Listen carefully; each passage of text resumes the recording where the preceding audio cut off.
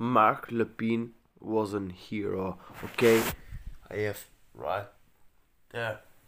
Marc like like Marc Marc Lepine is a hero. Marc Marc Lepine. So please, if you are so please if you are really an anti-feminist like this kind of type and a real incel black pill whatever please subscribe and please help me help I will put my face my, my face for you.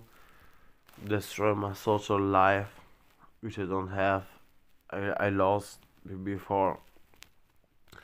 But even my future be to work aga- against feminism for you. For people who are really hate feminism